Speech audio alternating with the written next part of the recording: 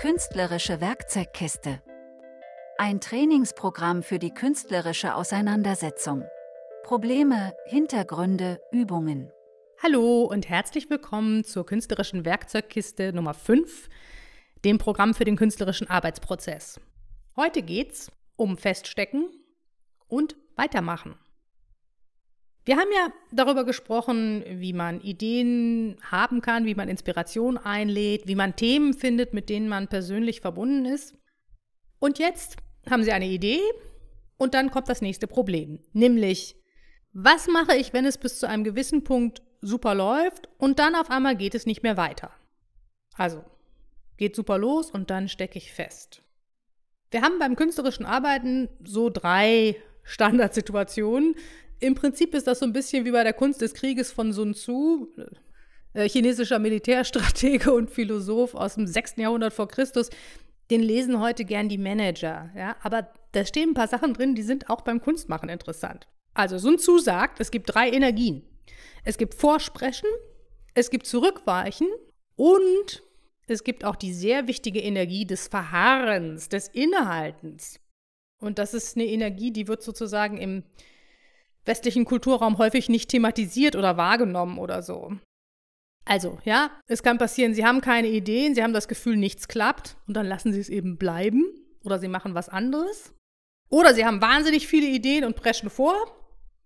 Oder Sie müssen Stopp machen und dann machen Sie Pause. Ja, und die Pause ist ein sehr, sehr wichtiges Instrument beim kreativen Arbeiten. Da kommen wir noch mal zu.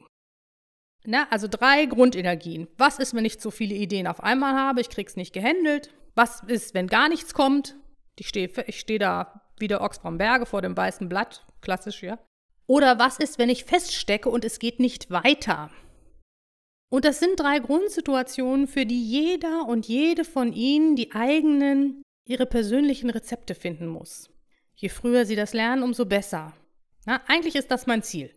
Ich möchte, dass Sie nach drei Semestern bzw. 24 Podcast-Episoden diese drei Listen haben. Liste 1, was tue ich, um Inspiration zu finden? Liste 2, was tue ich bei zu viel Inspiration? Liste 3, was tue ich, wenn nichts geht? Und wenn Sie dafür Rezepte haben, können Sie meiner Meinung nach so gut wie jedes Projekt stemmen. Ja, das ist die Grundlage. Wenn Sie das wissen, können Sie Doktorarbeiten schreiben, Sie können große Installationen machen Wahrscheinlich können sie damit sogar Häuser bauen, Ehen retten, Kinder großziehen, Imperien zu Fall bringen. Alles, was sie sich halt so als Ziel setzen. Ich verspreche Ihnen, dass Ihnen diese drei Listen grundsätzlich helfen werden. Künstlerische Werkzeugkiste. Über das Aktivieren, das Anfangen haben wir schon gesprochen. Und heute geht es aber ums Weitermachen. Angefangen, nicht geklappt, geht nicht weiter. Was tun Sie? Ich habe das erst so richtig gelernt, so um die 30 beim Doktorarbeit schreiben. Und ich finde, das ist zu spät. Ja, ich möchte gern, dass Sie das früher lernen und dann können Sie auch länger daran rumfallen und das perfektionieren. Was ich gelernt habe beim Doktorarbeit schreiben war, also stellen Sie sich vor, Sie schreiben diese Doktorarbeit, die ist so, so lang wie, sagen wir mal, zehn Hauptseminarsarbeiten und Sie sitzen irgendwie den ganzen Tag in Ihrem Zimmerchen und schlagen sich damit rum.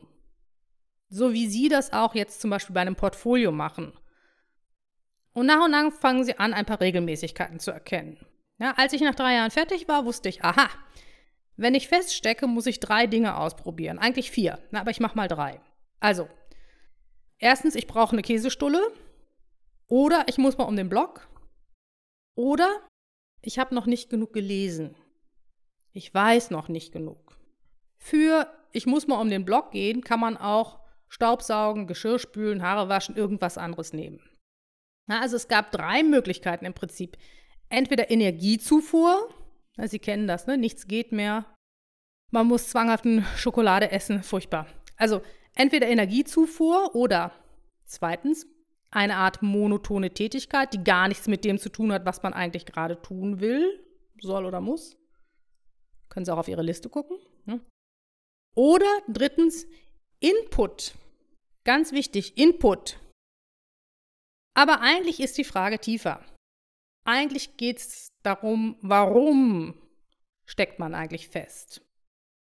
Und hier kommt jetzt die berühmte Pause.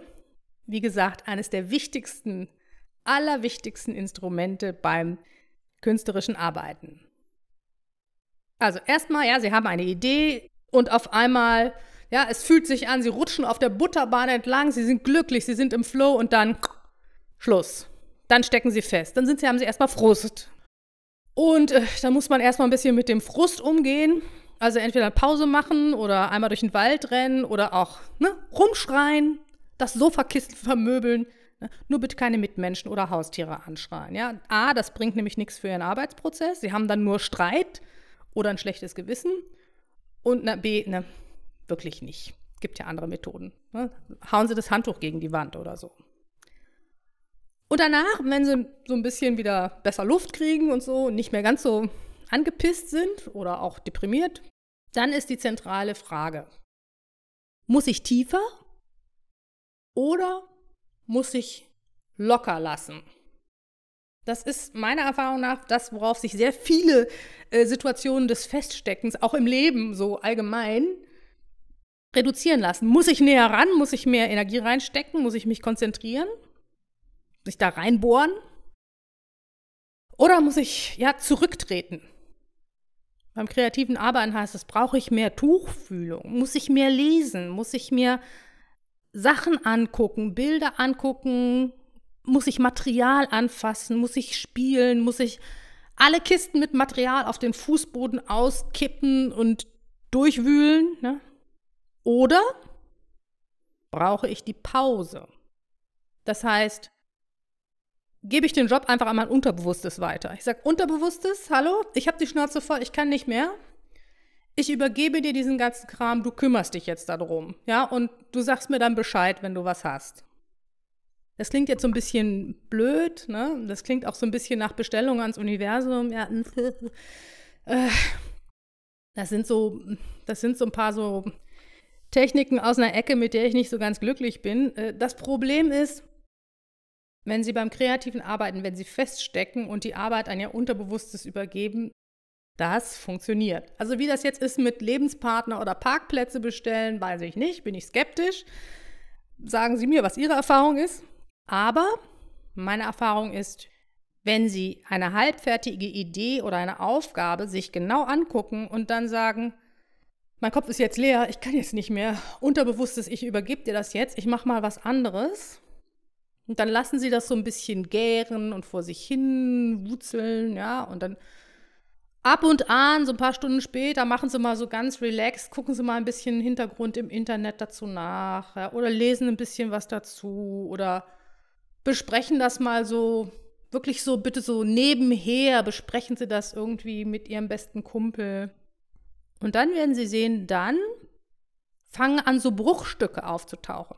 Ja, dann kommen so Teilideen. Dann am nächsten Tag wissen sie auf einmal, wie es geht. Ja, oder zumindest wissen sie den nächsten Schritt.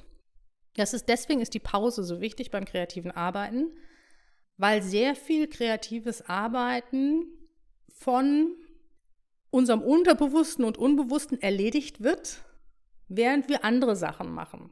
Man darf sich jetzt nicht total in die anderen Sachen stürzen, man muss das ein bisschen so mitlaufen lassen, dass da ein anderer Prozess ist. Aber tatsächlich ist es so, wir können, wenn es nicht weitergeht, wirklich diese Dinge mal kurz delegieren und sagen, mach mal, mach mal bitte, während ich schlafe.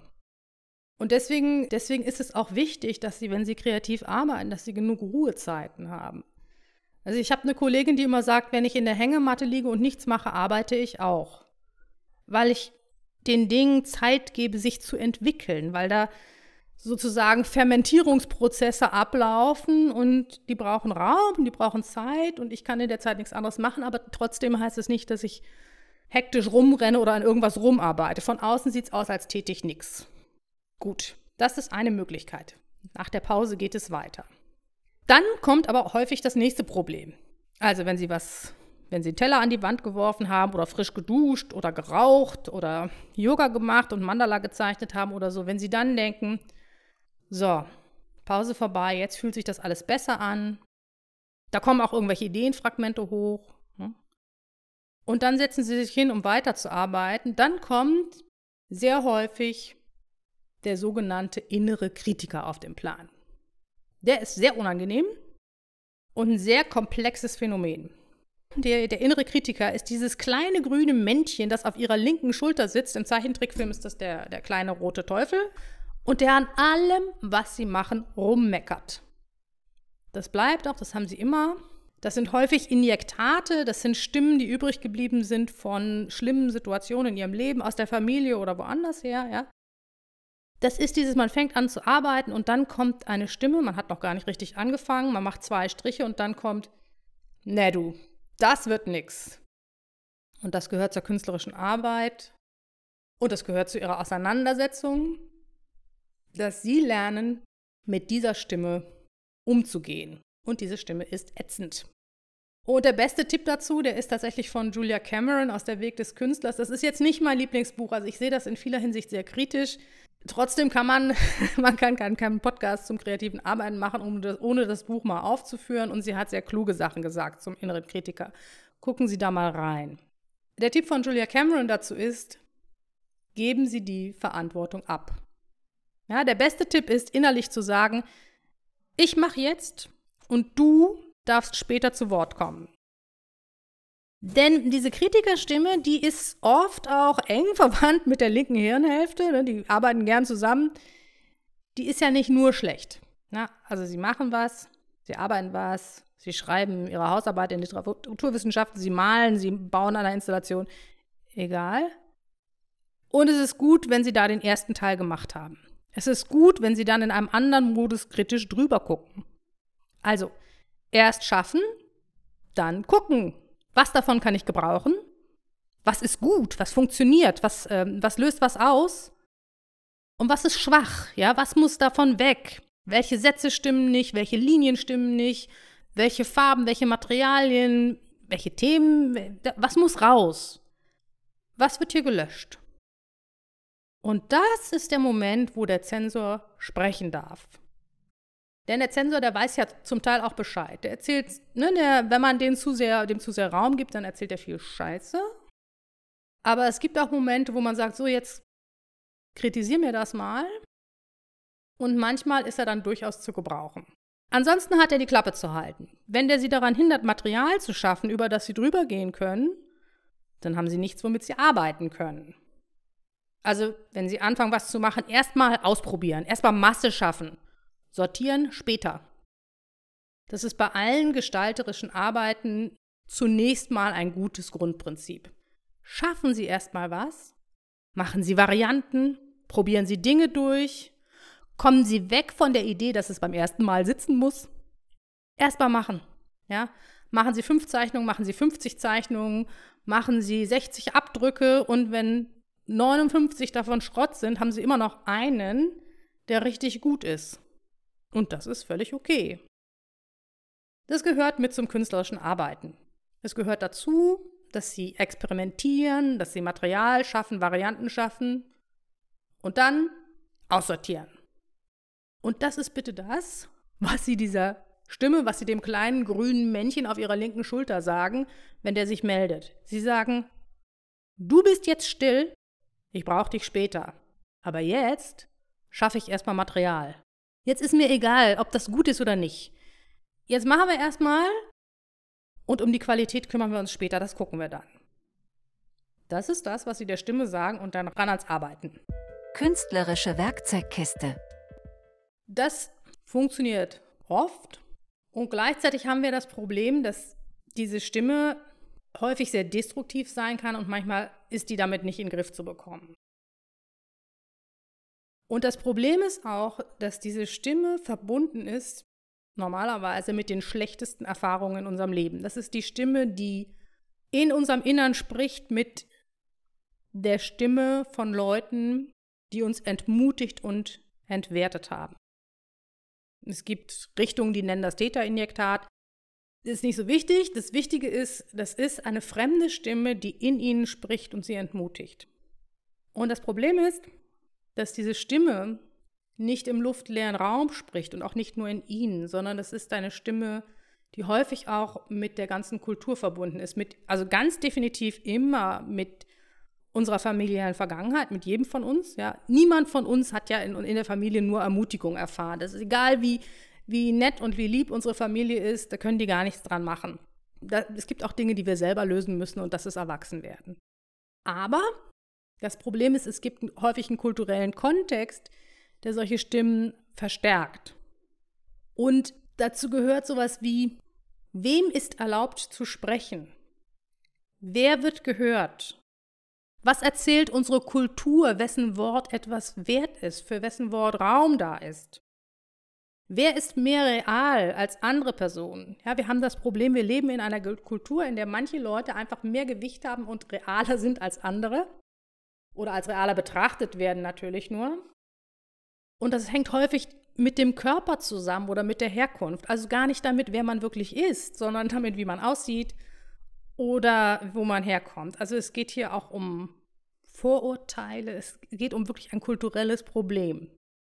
Also zum Beispiel lerne ich natürlich als Frau, und ich denke, dass das auch in der jüngeren Generation noch so ist, natürlich lerne ich, dass ich weniger gehört werde als Männer. Ne? Also ich, ich gehe mal davon aus, dass wenn ich in einem beliebigen Raum bin und die Frauen frage, wer von ihnen hat schon mal erlebt, dass sie in einer Gruppe sind und sie sagen was und darauf gibt es keine Reaktion, es ist, als wäre nichts passiert. Und drei Minuten später sagt ein Mann das Gleiche, genau das, was sie auch gesagt haben. Und dann gibt es auf einmal Beifall, da klatschen alle. Also das ist eine sehr typische Situation. Normalerweise haben das sehr viele Frauen schon mal erlebt. Das liegt jetzt nicht daran, dass die Männer das absichtlich machen oder so, sondern das ist, das ist eine kulturelle Struktur, an der wir arbeiten müssen, um sie loszuwerden. Oder eine andere Sache, die, ihre, die sie hemmen kann, eine andere Sache, die diese Stimme verstärkt, die sagt, was du zu sagen hast, ist unwichtig. Diese kleine grüne Stimme. Was anderes, was das verstärken kann, ist, sie sind in Kontexten, in denen ihre Fähigkeiten unsichtbar sind. Zum Beispiel. In der Schule passiert das auch sehr oft leider. Aber jetzt mal ein schönes Beispiel, hat eine Kollegin von mir erlebt bei einem Schulprojekt. Da war ein Mädchen, die war gerade angekommen aus dem Ausland und das Kind sagt, sie kann bis 1000 rechnen. Kann noch nicht gut Deutsch. Das ist, ja, das ist für die wichtig, dass sie bis 1000 rechnen kann, dass sie irgendwas kann. Eine Mathematik ist ja oft toll, wenn man mit, der, mit den anderen Sprachen nicht zurechtkommt, weil ne, so diese abstrakte Sprache der Mathematik, die hat man dann schon anders gelernt. Aber die Lehrerin sagt, nee, kann die überhaupt nicht, ist Quatsch, das ist alles, was die da aufschreibt, ist Blödsinn. Meine Kollegin guckt da drauf und dann stellt sich raus, naja, das Kind kann schon rechnen, aber das Kind kommt aus dem arabischsprachigen Raum und schreibt indische Zahlen. Ne? Also es ist ein bisschen ironisch, im arabischen Raum äh, schreibt man indische Zahlen häufig und im europäischen Raum schreiben wir mit arabischen Zahlen. Das Mädchen konnte rechnen, aber die Lehrer Lehrerin konnte das nicht sehen, weil das Mädchen weniger real war, weil die Schrift, die Sprache, die sie gelernt hatte, in dem Zusammenhang, in dem sie dann war, weniger real war. Und das sind Stimmen, die unter Umständen bei ihnen bleiben und die sie zäh und langsam wegarbeiten müssen. Männer haben da statistisch gesehen häufig Vorteile, vorausgesetzt, sie sehen nicht in Anführungszeichen ausländisch aus oder sprechen in Anführungszeichen ausländisch oder sie sind, sehen sehr schwul aus oder sie sind chronisch krank oder offensichtlich arm und nicht so gebildet etc. etc. etc. etc. Aber ich kenne wirklich viele Männer, von denen ich weiß, dass auch sie diese Stimmen mit sich herumtragen sehr zerstörerische, negative Stimmen, die ihnen erzählen, dass sie nicht sein dürfen, wer sie wollen, etc. Kann sein, dass die manchmal weniger durch die Gesellschaft verstärkt werden, trotzdem sind die da. Und was machen sie jetzt damit? Also die, die erste praktische Methode, wenn, wenn sie feststecken, ist immer, a, muss ich näher ran, brauche ich mehr Input, Auseinandersetzung mit dem Material oder mit Hintergrundwissen, oder brauche ich Abstand, brauche ich Pause, muss ich das an mein Unterbewusstes abgeben. Und dann kommt die Stimme des inneren Kritikers. Und da ist eine Methode, die häufig wirkt, zu sagen, du hältst jetzt die Klappe, du darfst später was sagen, jetzt wird erstmal gemacht. Das kann aber unterschiedlich schwer sein. Und es ist wichtig, und es ist ein langer Prozess, da können Sie sich ruhig mal 20, 30 Jahre Zeit für nehmen. Trotzdem, gucken Sie mal, gucken Sie mal, woher diese Stimme kommt. Ja, wer hat denn wann mit ihnen so geredet? Wer hat denn wann ihnen zu verstehen gegeben? Vielleicht nicht gesagt, ja, aber zu verstehen gegeben, dass sie nichts zu sagen haben, dass das, was sie zu sagen haben, nicht wichtig ist. Ja, und wenn sie es schon mal gelöst haben, wie haben sie es denn gelöst? Übung. Übung. Diesmal. Erstens. Bitte probieren Sie das mal aus. Wenn Sie das nächste Mal in der Situation sind, dass Sie, dass Sie nicht weiterkommen beim kreativen Arbeiten, dann kann auch wirklich auch beim Textschreiben funktioniert es auch. Beobachten Sie das mal. Gucken Sie mal, hilft Ihnen näher rangehen? Und was bedeutet näher rangehen für Sie? Oder hilft Ihnen die Pause? Probieren Sie das mal aus mit der Pause. Also wirklich Sie nee, sagen bewusst, okay, ja, ich mache jetzt Schluss ich arbeite darüber und ich überreiche dieses Problem an mein Unbewusstes, das soll sich was dazu einfallen lassen. Und dann warten Sie mal ab, ob am nächsten oder übernächsten Tag was kommt. Bitte probieren Sie das mal bewusst aus. Zweitens, Liste. Gucken Sie bitte nochmal auf Ihre Rechtshirnliste. Die wird sich in weiten Teilen überschneiden mit einer Liste, was Sie tun bei Feststecken, aber die sind nicht ganz identisch. Gucken Sie doch noch mal zurück, gehen Sie noch mal Situationen durch in der Vergangenheit, wie Sie, wie Sie das gelöst haben beim Feststecken. Und dann machen Sie eine zweite Liste, Ihre Feststeckenliste, die kleben Sie an Ihren Kühlschrank neben die Rechtshirnliste.